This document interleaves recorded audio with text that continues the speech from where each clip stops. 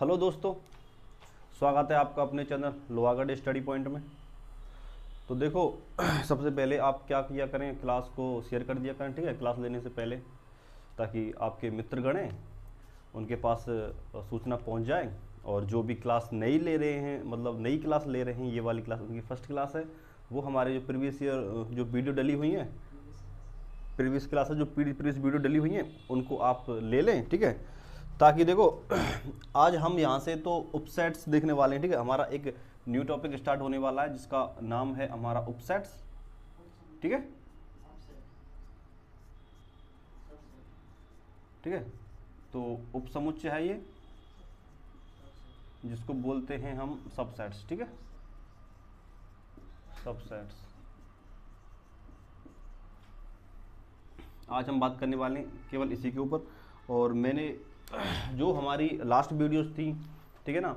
उसके बारे में, उसमें मैंने देखो, आपको सेट्स के बारे में बता दिया था। सेट्स क्या होते हैं सेट्स किसे कहते हैं सेट्स की उचित डेफिनेशन थी, वो अलग थी, ठीक है? वो मैंने बताया। फिर मैंने इसके बाद में आपको बताया कि जो सेट्स हैं ना, इसको प्रदर्शन करने की जो भी तकनीक या फिर विधियाँ हैं, वो कितनी थी? दो बताई थी मैंने आपको। एक तो रोस्टरी समझाई थी, एक बताई थी हमने समुचित निर्माण विधि, ठीक है?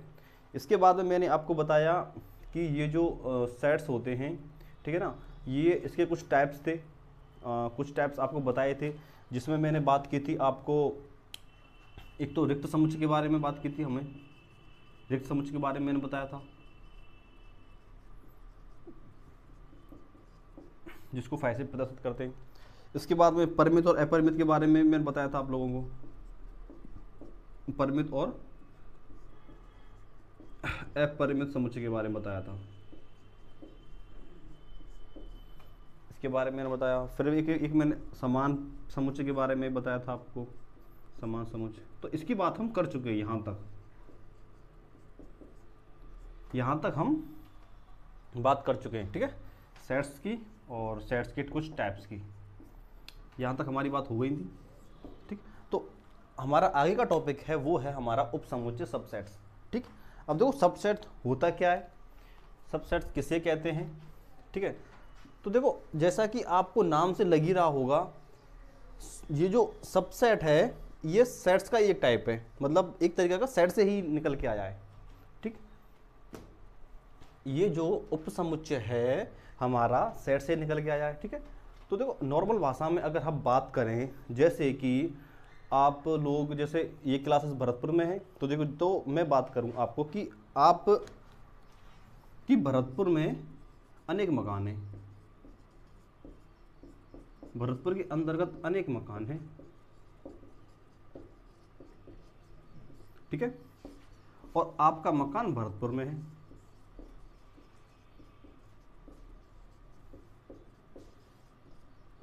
भरतपुर में तो देखो कहीं ना कहीं ये वाला है, इससे निकल के आया है। ठीक है? ये हमारा एक सेट्स है। इस सेट से ही ये जो है हमारा, ये उपसमुच्चय, ये निकल के आया है।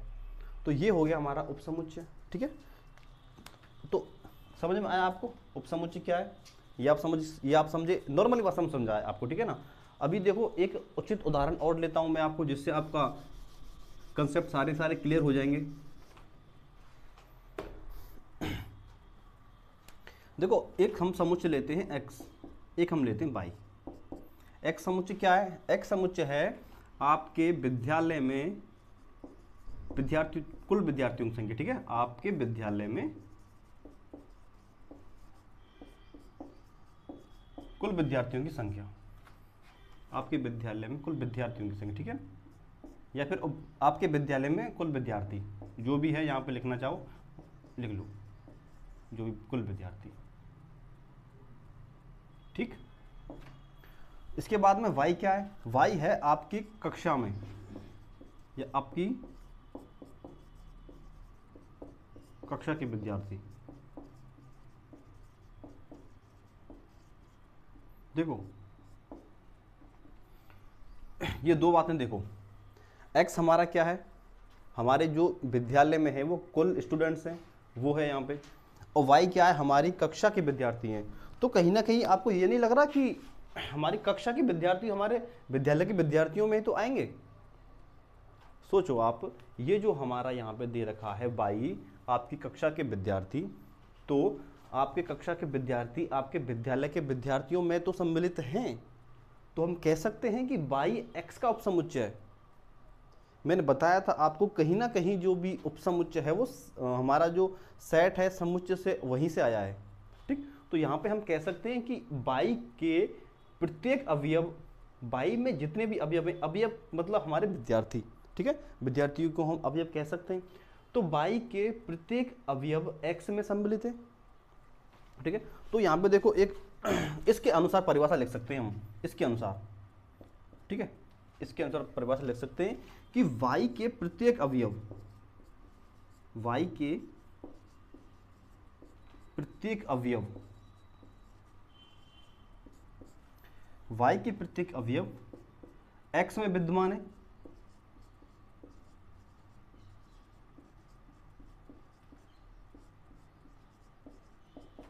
x में विद्यमान है। अतः हम कह सकते हैं, क्या? अतः हम कह सकते हैं कि y x का एक उपसमुच्चय है। X का एक उपसमुच्चय है। देखो। आया समझ में आपको? मतलब अगर बाई के प्रत्येक अवयव हमारे अगर एक्स में विद्यमान हैं तो हम कह सकते हैं कि हमारा जो बाई है, वो एक्स में विद्यमान है, ठीक है? यहाँ तक आपको समझ में आया वो कोई नहीं। अच्छा अब इसको प्रदर्शन करने का एक एक प्रदर्शित करने का एक एक प्रतीक चिन्ह है, देखो, जिसको, अब देखो, इसको किस प्रकार लिख सकते हैं? ये इतनी बड़ी भाषा है ना, ये दो लाइन वाली भाषा, अगर हम एक चीज़ लिख दें यहाँ पे, अर्थात लगा के, अर्थात लगा के अगर हम ऐसा लिख दें Y subsets of X Y subsets of X ठीक है ना?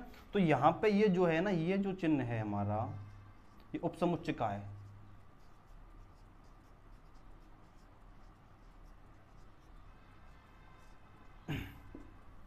उपसमुच्चय क्या है? अब देखो, या तो आप इसको बोल लो, या तो आप ये बोल सकते हो, या फिर आप ये जो लिखी हुई है दो लाइन, इनको बोल सकते हो। इसका मतलब क्या हुआ? इसका मतलब ये हुआ बाई के प्रत्येक अवयव एक्स में विद्यमान है और बाई एक्स का एक उपसमुच्चय है।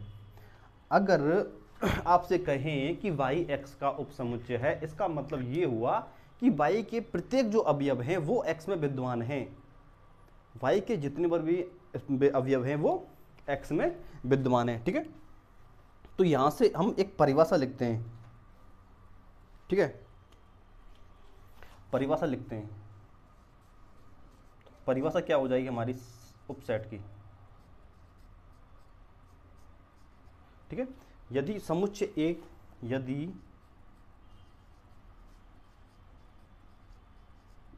समुच्चय ए के प्रत्येक अवयव यहाँ पे हमने दो समुच्चय चाहिए हमारे लिए। भाई सबसेट के लिए हमें दो समुच्चय चाहिए। यदि समुच्चय ए के प्रत्येक अवयव समुच्चय बी में विद्यमान है समुच्चय बी में विद्यमान है तो हम कह सकते हैं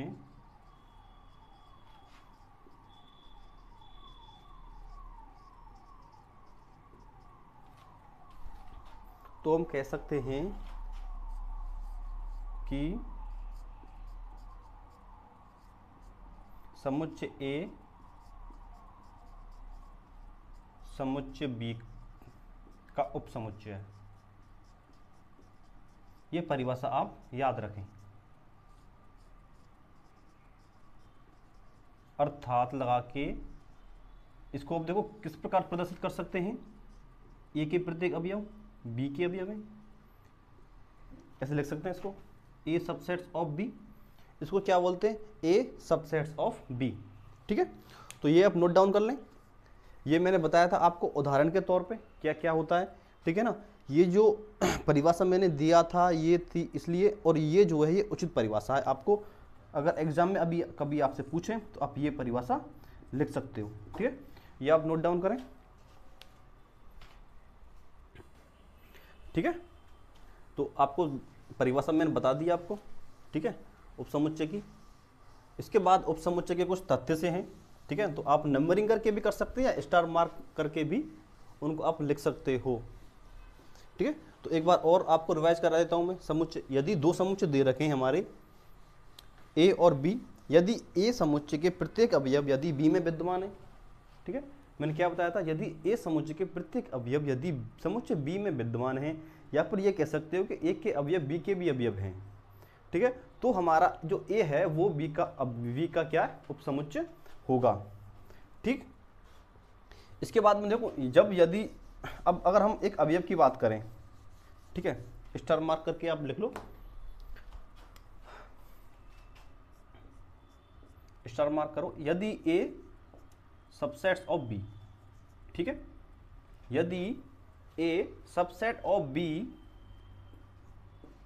तो जो एक अभी अवयव ए ले लिया हमने, ये भी हम, ये हमारा किससे बिलोंग कर रहा है? ए से बिलोंग कर रहा है।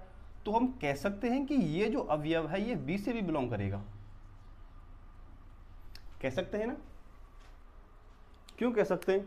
देखो, क्योंकि जो ए है ना, ये बी का ही समुच्चय है। मतलब ए के अवयव बी के अवयव हैं तो यदि ए का एक अवयव ए है अच्छा कोई बता सकता है कि मैंने यहाँ पे ए स्मॉल क्यों लिखा? क्योंकि मैंने पहली क्लास में बता दिया था आपको सबसेट्स जो हैं या फिर उपसमुच्चय या उनके अवयव हैं, वो ए से लिखे जाएँगे स्मॉल ए से, और जो समुच्चय हैं, वो लिखे जाएँगे हमारे कैपिटल ए से, ठीक है? तो देखो, यदि ए सब ए ए जो भी है, वो ए से बिलोंग करता है, और ए अगर बी से भी बिलोंग करता है, ठीक है ना? तो हम इसको पता है किस प्रकार से प्रदर्शित करेंगे? तो इसको हम लिखेंगे यहाँ पे ए सबसेट ऑफ़ बी यदि A belongs to A belongs to A फिर यहाँ पे एक चिन्ह का उपयोग करेंगे। से तात्पर्य है, इसका मतलब हो गया से तात्पर्य है ए बिलोंग्स टू बी ठीक? अब देखो यहाँ पे मैंने एक चिन्ह लिखा, आपको ये वाला। ठीक है? इसका अर्थ होता है से तात्पर्य। से तात्पर्य है। ये लिख लो भले आप। से तात्पर्य है। ठीक है? अच्छा इसको बोलते क्या है? इसको बोलते हैं one way implication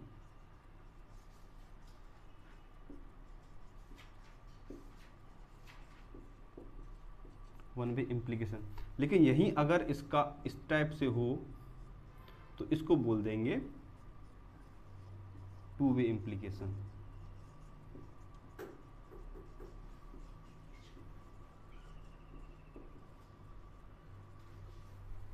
ठीक है? ये वाले चिन्ह।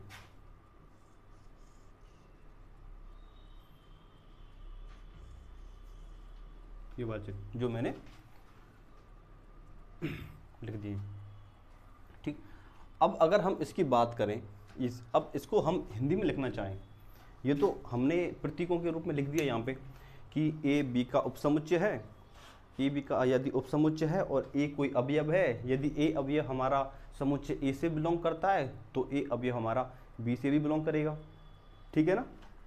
तो देखो किस तो इसको कैसे लिखेंगे हम? यदि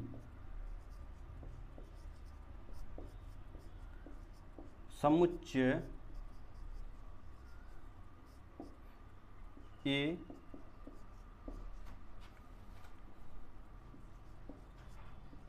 समुच्चय बी का उपसमुच्चय है।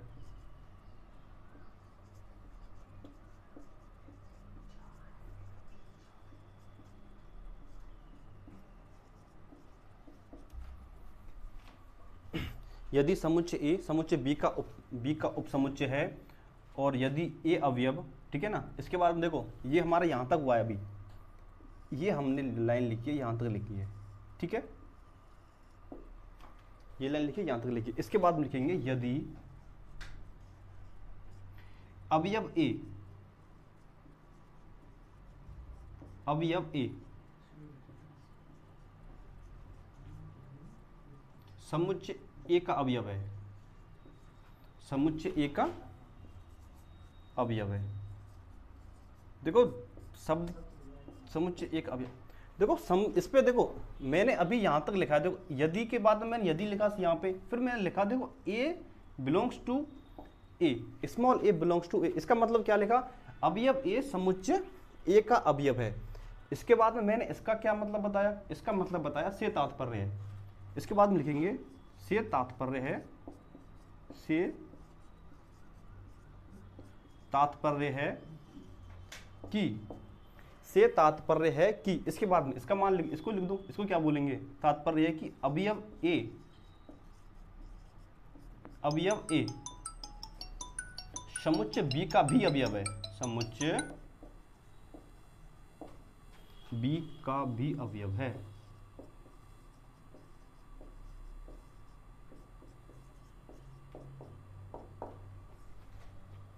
अंडरलाइन कर दो।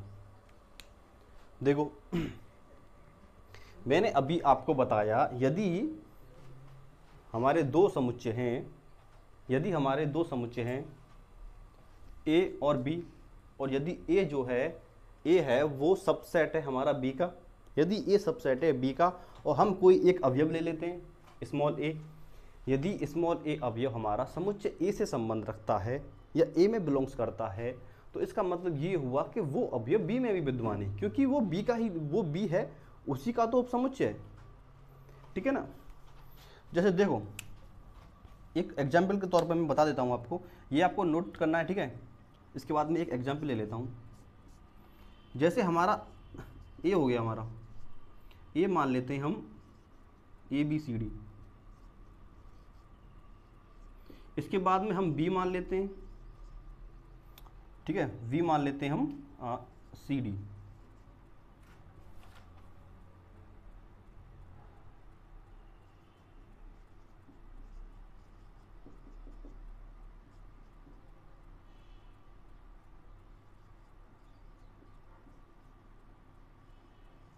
ये मान लिया हमने। ये मान लिया। तो देखो, अभी मैं क्या लिख सकता हूँ? मैं यहाँ पे लिख सकता हूँ कि ए जो है ए सबसेट्स और बी है। क्यों है? क्योंकि ए का जो भी प्रत्येक अवयव है, वो बी में विद्यमान है। ए का प्रत्येक अवयव बी में विद्यमान हो रहा है। क्योंकि देखो ए में सिर्फ़ ए बी सी डी चार चार ही अवयव है। लेकिन बी में देखो ए से लेकर जेड तक छब्बीस अवयव है। मतलब जो भी अक्षर हैं, वो हमारे सारे सारे यहाँ पे विद्यमान हैं। अगर हम कोई अवयव ए की बात करें, यदि हम यहाँ पे आगे लिखें, यहाँ पे यदि ए जो अवयव है, ये हमारा यदि ए से बिलोंग करता है। हमने ये अवयव ले लिया ए ये हमारा बिलोंग कर रहा है ए से, ठीक है? तो हम लिख सकते हैं, इसके तात्पर्य, इससे क्या तात्पर्य है? इससे तात्पर्य है कि ये जो ए है ना, ये बी से भी बिलोंग करता है। क्योंकि ए जो है, जब ए का अवयव है और पूरा का पूरा ए सबसेट है बी का तो वो बी में विद्यमान होगा। यहाँ तक बात समझ में आई आपको? ठीक। ये अगर आप उदाहरण उतारना चाहो मतलब ये उदाहरण वाला एग्ज़ाम्पल जो है तो आप उतार सकते हो। इसके बाद में हम एक, इसी को अभी अब समुच्चय ख़त्म नहीं हुआ, ठीक है? अभी हमारा ये जो समुच्चय है, ये ख़त्म नहीं हुआ है। समुच्चय के बारे में और भी काफ़ी जानकारियाँ हैं आपको। उप समुच्चय।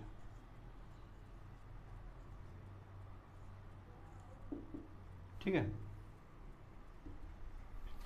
इसको आप नोट डाउन करें, इसके बाद में और एक पॉइंट की तरफ़ बढ़ते हैं, ठीक है? वो मैं बताने वाला हूँ आपको।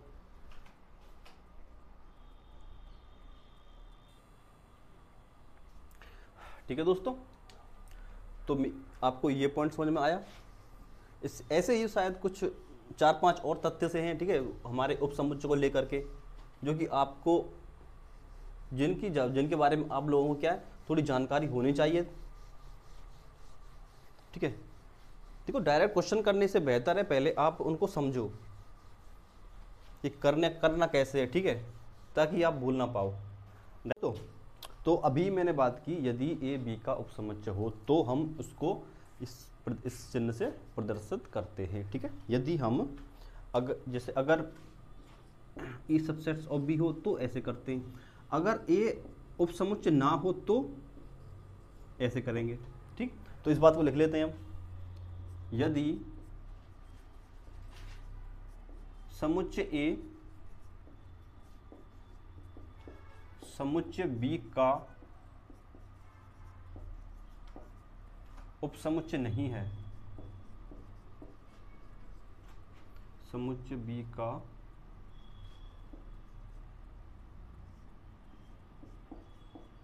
उपसमुच्चय नहीं है। तो कैसे प्रदर्शित करेंगे इसको? देख लेते हैं। इसका मतलब हुआ कि ए है वो नॉट सबसेट्स ऑफ़ पी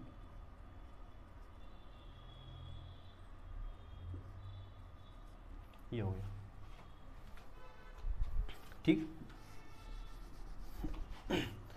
इसके बाद हम अगले टॉपिक पॉइंट की बात करते हैं। देखो क्या होने वाला है। जैसे मैंने अभी बताया आपको, ये जो ए है, ये सबसेट्स ऑफ़ बी है ठीक है? ए सबसेट्स ऑफ़ बी है तो इसमें क्या है कि जो ए अवयव है, वो हमारा देखो ए में भी होगा और एक अवयव वो हमारा बी में बिलोंग करेगा। ये आप, आपको मैं क्लियर करा चुका हूँ, ठीक है? पिछली बार, अभी, फिर उसके बाद देखो, यदि यदि अगर बी सबसेट्स ऑफ़ ए हो तो अभी मैंने यहाँ पे बात की ए जो है वो सबसेट्स है बी का। लेकिन अगर बी सबसेट्स हो लेकिन अब पता, उपसमुच्च होने के लिए देखो, सबसे पहले ये बात ध्यान रखो। अब उपसमुच्च होने के लिए ये आवश्यक नहीं है कि ये भी हो। ये आवश्यक नहीं है।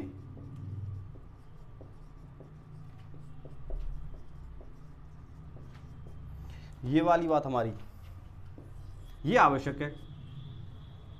ये वाली बात आवश्यक है, लेकिन ये आवश्यक नहीं है। अगर ए समुच्चय बी का उपसमुच्चय है तो ये आवश्यक है। लेकिन यदि इसके लिए ये ज़रूरी नहीं है कि हमारा जो बी है, वो भी ए का उपसमुच्चय हो। समझो बात को। ये ए समुच्चय बी का हो सकता है, लेकिन ज़रूरी नहीं है कि बी भी अगर बी ये बी अगर बी एक का उपसमुच्चय हो, ठीक है? लेकिन अगर हो, अगर ऐसा हो भी गया कि ए बी का उपसमुच्चय है बी ए का उपसमुच्चय, इसका मतलब क्या हुआ? ए और बी में अब ये बराबर है। यही तो मतलब हुआ इसका भाई। यदि ए बी का उपसमुच्चय है बी ए का उपसमुच्चय है, लेकिन उपसमुच्चय के लिए ये आवश्यक है कि ये के प्रत्येक अब ये बी में होने चाहिए। देखो, इसके लिए आवश्यक है कि ए के अवयव ए के सभी अवयव बी में होने चाहिए। इसके लिए इसके लिए देखो, यदि बी सबसेट्स ऑफ़ ए है तो बी के सभी अवयव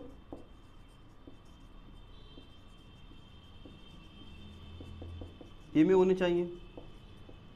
इसका मतलब ये रहा, ए के सभी अभी बी में होने चाहिए, बी के सभी अवयव, ए में होना चाहिए। तो अब हम इसके आधार पर कह सकते हैं कि ए बराबर बी है हमारा। बताओ, कह देंगे? कह सकते हैं। ठीक है, यदि ए सबसेट्स ऑफ़ बी हो बी सबसेट्स ऑफ़ ए हो उसके उसके बाद में, क्योंकि देखो, इसके लिए हमारे ये आवश्यक होती है कि ए के सभी अवयव बी में विद्यमान होने चाहिए। तो इसके लिए क्या आवश्यक होगा? बी के सभी अवयव ए में होने चाहिए। जब ए के अवयव बी में हैं, बी के अवयव ए में हैं तो ए और बी बराबर हो गए हमारे। और यदि ए और बी बराबर हैं तो यहाँ पे हम लिख सकते हैं कि ए बराबर बी। ठीक? अब देखो, इसको लिख लेते हैं। लिखेंगे कैसे? वो देखो आप। देखो, या तो आप साथ के साथ नोट डाउन कर लिया करें, ठीक है? मैं बोलता हूँ उसी उसी के साथ साथ, ठीक है? और अगर ना लिख पाए तो आप पहले स्क्रीनशॉट ले लिया करें। उसके बाद में जैसे ही स्क्रीनशॉट लेके क्लास ख़त्म हो, उसके बाद में भी आप लिख लिया करें। तो देखो।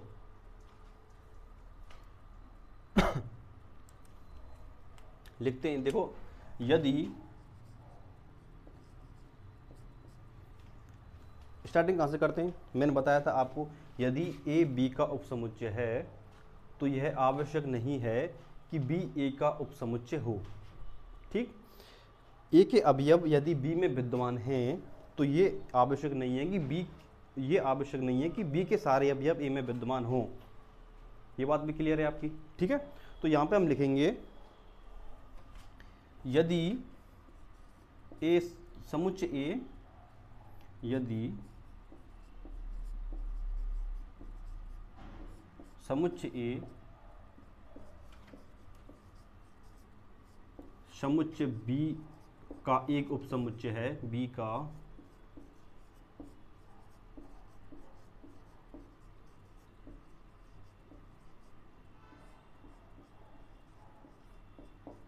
एक उपसमुच्चय है। यदि समुच्चय ए समुच्चय बी का उपसमुच्चय है तो ये आवश्यक तो यह है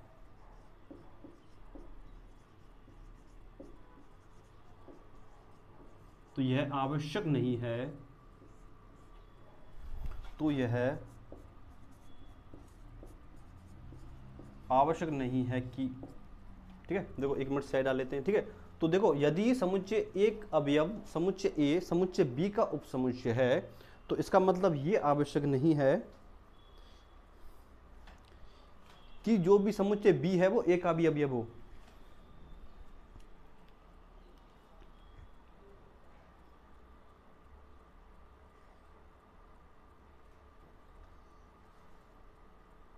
ठीक है देखो, यदि समुच्चय ए समुच्चय बी का एक उपसमुच्चय है तो यह आवश्यक नहीं है कि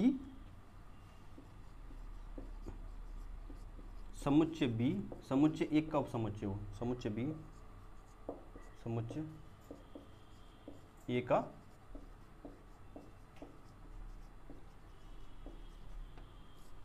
उपसमुच्चय हो। ठीक?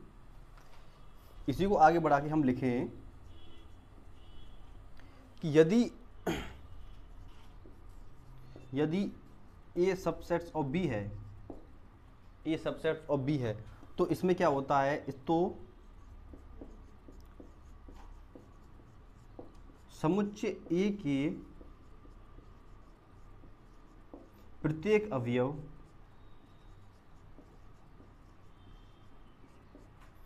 समुच्चय ए के प्रत्येक अवयव समुच्चय बी में होते हैं। समुच्चय ए के प्रत्येक अवयव समुच्चय बी के अवयव होते हैं। अवयव समुच्चय बी के अवयव होते हैं।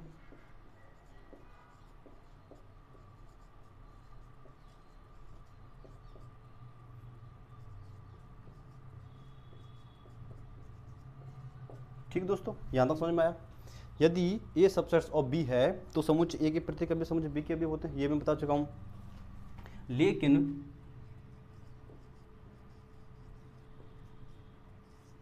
लेकिन यह आवश्यक नहीं है। लेकिन ये देखो, ये थोड़ी सी मतलब आपको लिखना ज़रूरी है ये, ठीक है? क्योंकि आप जब तक ये नहीं समझोगे कि मतलब सबसेट्स का मतलब क्या होता है, ठीक है ना? इसकी बेसिक शर्त सी क्या है, ठीक है? इसके दो चार मतलब ये जो मैं बता रहा हूँ तथ्य जो भी बोल सकते हो आप इनको, ये क्या होते हैं? तो इससे क्या आपका कंसेप्ट क्लियर होगा नहीं बाद में, ठीक है? तो इसलिए मैं ये ज़रूरी है कि आप ये सब नोट डाउन किया करें और साथ ही साथ मैं आपको समझा भी रहा हूँ। ठीक है? कि इसका मतलब क्या होता है? और इसके समझाने के बाद में मैं आपको ये सब नोट डाउन करा रहा हूँ। ठीक है? तो यदि ए सबसेट्स ऑफ़ बी है तो समुच्चय ए की प्रत्येक अभी समुच्चय बी में होते हैं। ठीक है? लेकिन यह आवश्यक नहीं है कि समुच्चय बी के सभी अवयव समुच्चय ए में हो, या समुच्चय ए के अवयव हो। समुच्चय ए के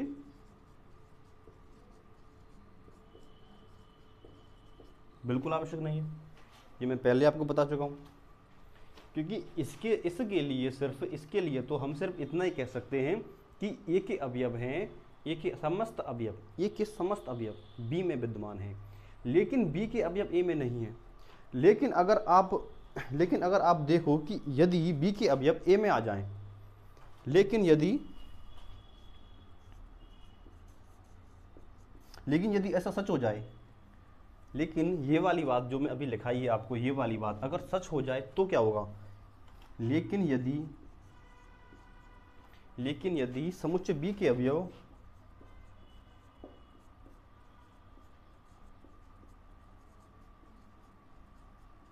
लेकिन यदि समुच्चय बी के अवयव समुच्चय ए में विद्यमान है, या समुच्चय ए के अवयव हैं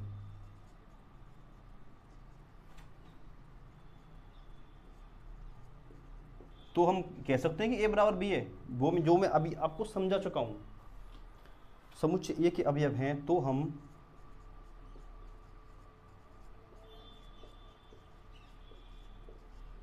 कह सकते हैं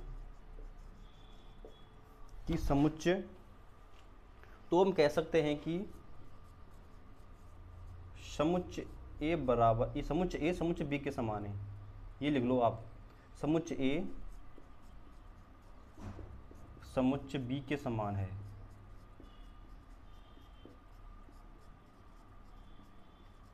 अर्थात लगा के लिख दो ए बराबर बी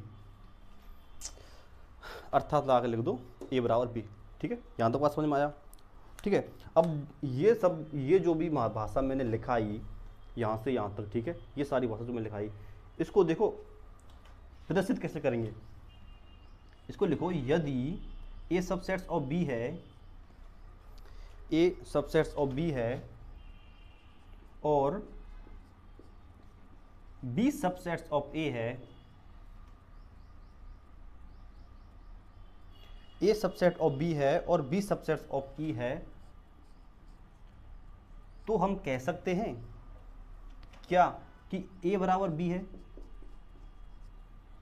ठीक, इसका मतलब मैंने बता दिया था टू वे इम्प्लीकेशन इसका मतलब होता है तो हम कह सकते हैं तो हम कह सकते हैं, इसका क्या होता है? अर्थ होता है तो हम कह सकते हैं। तो ये हमारा क्या हो गया?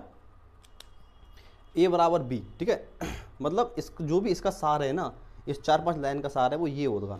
यदि ए, बी का समुच्चय है, बी, ए का समुच्चय है तो हम कह सकते हैं कि ए बराबर बी है। बिल्कुल। क्योंकि अगर ए बराबर बी नहीं होगा, ए बराबर बी नहीं होगा तो अगर तो ए, बी का उपसमुच्चय हो सकता है। लेकिन तब बी, ए का उपसमुच्चय, ये वाली कंडीशन नहीं आएगी। लेकिन अगर ये वाली कंडीशन आ गई, इसका मतलब है ये दोनों समुच्चय क्या है? बराबर है, ठीक है? ये आप नोट डाउन कर लें या स्क्रीनशॉट ले लें, बाद में नोट डाउन कर सकते हो, देख लो।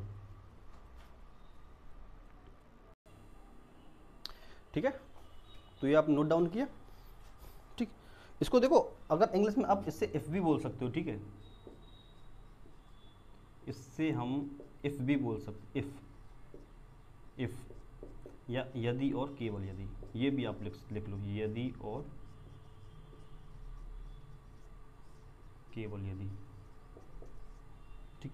क्योंकि सिर्फ़ यही कंडीशन हो सकती है, जब ये वाली, हमारे दो भी, ये दो सच हो। अन्यथा कोई भी कंडीशन ऐसी नहीं आएगी, ठीक है? नोट डाउन कर लिया तो बढ़ते हैं आगे।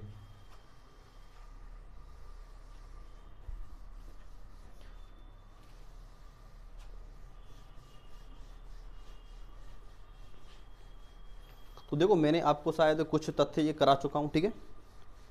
आप समझ भी गए होंगे उपसमुच्चय के बारे में। उपसमुच्चय क्या होता है, कैसे प्रदर्शित करते हैं, इसके लिए क्या आवश्यक है, क्या आवश्यक नहीं है ये सब बातें आप समझ गए होंगे। इसके बाद में एक दो तथ्य और रह जाते हैं, वो बता देता हूँ मैं आपको। ठीक है? इसके बाद में लिखो आप कि जो, ये जो प्रत्येक समुच्चय होता है ना, प्रत्येक समुच्चय अपने खुद स्वयं का उपसमुच्चय होगा। जैसे देखो, अगर हम ऐसे लिख दें, ये वाली बात हम लिखें, ए सबसेट्स ऑफ़ ए, ये बात सही हो सकती है, बिल्कुल सही हो सकती है। क्योंकि देखो, यदि इसके अवयव इसके अवयव होंगे ना, इसके अवयव इसके अवयव होंगे तो हम कह सकते हैं कि समुच्च की प्रत्येक अवयव या प्रत्येक समुच्चय तो हम कह सकते हैं प्रत्येक समुच्चय स्वयं का समुच्चय होता है। स्वयं का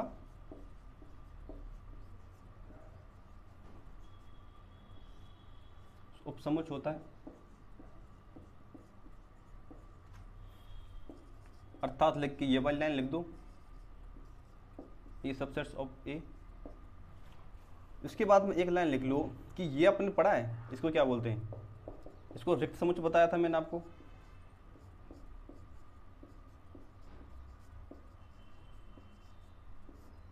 रिक्त समुच्चय बताया था। ठीक है, अब देखो जब रिक्त समुच्चय क्या होगा? रिक्त समुच्चय भी प्रत्येक अवयव का एक उप समुच्चय होगा, क्योंकि उसके अंतर्गत कोई अवयव भी नहीं होते। जब कोई अवयव रहेंगे नहीं तो वो सबका उप समुच्चय होगा।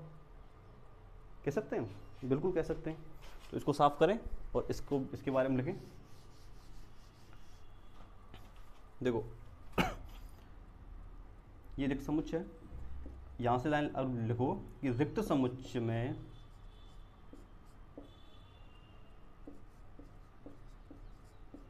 रिक्त समुच्चय में कोई अवयव नहीं होता।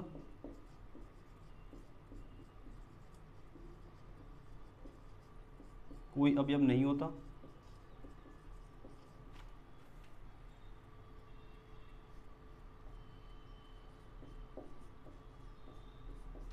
रिक्त समुच्चय में कोई भी अवयव नहीं होता तो तो हम कह सकते हैं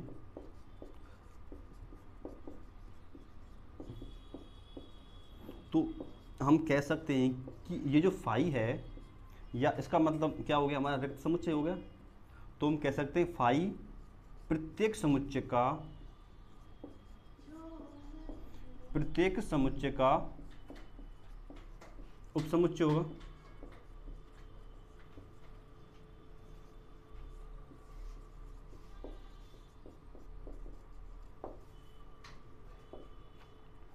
प्रत्येक समुच्चय का उपसमुच्चय होगा, ठीक है? ये लिख लो।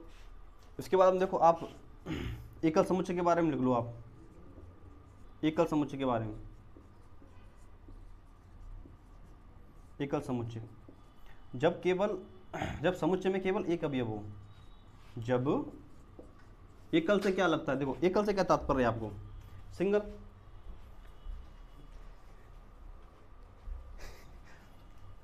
एकल से क्या तात्पर्य है आपको? सिंगल।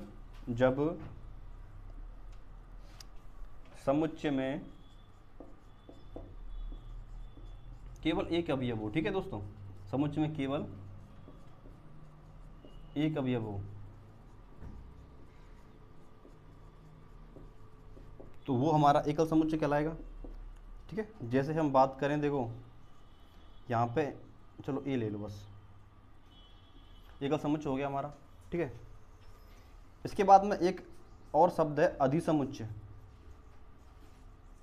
ये ये शब्द और है अधिसमुच्चय इसके बाद में आपका जो, एक ये जो उपसमुच्चय के बारे में जो तथ्य है ना, ये हमारे समाप्त हो जाएँगे। अब अधिसमुच्चय किसे कहते हैं? देखो, जब हमारा जो ए है समुच्चय ए है, यदि बी का अवयव बी का उपसमुच्चय होगा, ठीक है? तो जो बी होगा ना, वो हमारा ए का अधिसमुच्चय कहलाएगा, ठीक है? जब, देखो, यहाँ पर लिख लो, आपको समझ में आ जाएगा, देखो, जब ए सबसेट्स ऑफ़ बी या ए समुच्चय बी का अवयव हो जब या ए समुच्चय बी का उपसमुच्चय हो।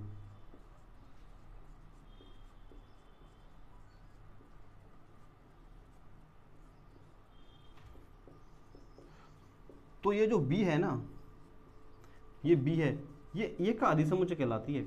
ए का अधिसमुच्चय कहलाता है, ठीक है? ये अधिसमुच्चय है। अगर आपको आ जाए कि अधिसमुच्चय के बारे में बताओ तो आप ये लिख देना। का अधिसमुच्चय कहलाता है।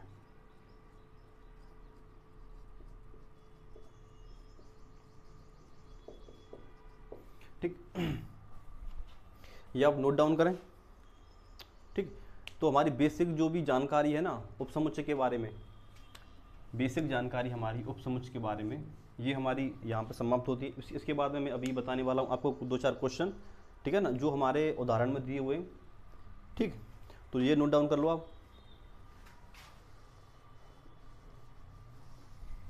तो हमारे जो बेसिक उदाहरण दिए हुए हैं ना, पहले तो उनको समझते हैं। फिर इसके बाद में समुच्चय के बारे में और थोड़ी बहुत जानकारी है। या समुच उप समुच्चय के प्रकार से भी हैं, वो आप देख लेना। अभी कल करा देंगे, फिर बढ़ेंगे प्रश्नावली की ओर, ठीक है? देखो, एक कोई एग्ज़ाम्पल ले लेता हूँ मैं आपको। जैसे, हमने पहला एग्ज़ाम्पल ले लिया कि हमारा जो एक समुच्चय है, एक, उसके, ये तीन अवयव ले लिए हमने, ठीक है? इसके बाद में हमारा एक समुच्चय बी है बी है ठीक? अच्छा बी को हम रोस्टर फॉर्म लिख देते हैं। एक्स सच दैट एक्स अवयव या एक्स संख्या लिख लो। एक्स संख्या एक्स जो है, वो संख्या छ के छ से छोटी विषम संख्या है।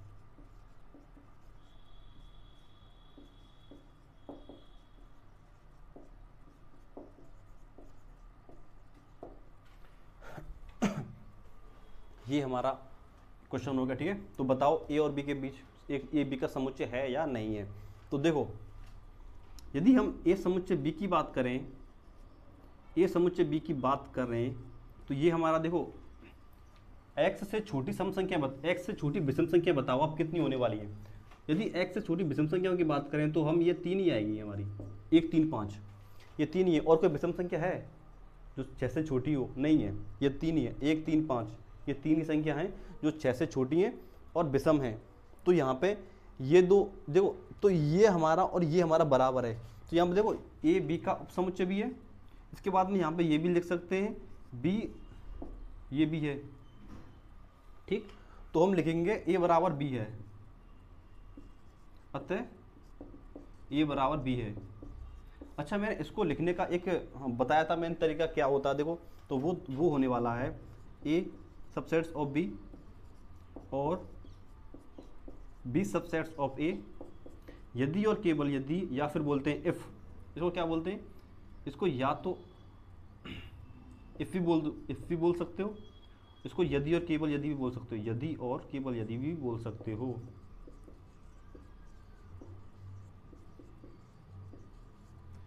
यदि ए बराबर बी है। ठीक है? ये समझ में आया आपको? ठीक है। तो देखो कुछ एग्ज़ाम्पल और भी दे रखे होंगे। बुक्स में कुछ एग्ज़ाम्पल और भी दे रखे। वो आप देखना, वो आप सॉल्व करके देखना कि मतलब होते हैं या नहीं होते हैं आपको। अगर नहीं होते हैं तो वो मैं बताने वाला, बता दूँगा आपको नेक्स्ट क्लास में, ठीक है? और अगर होते हैं तो ये तो अच्छी बात है, ठीक है? तो अगला टॉपिक हमारा रहने वाला है।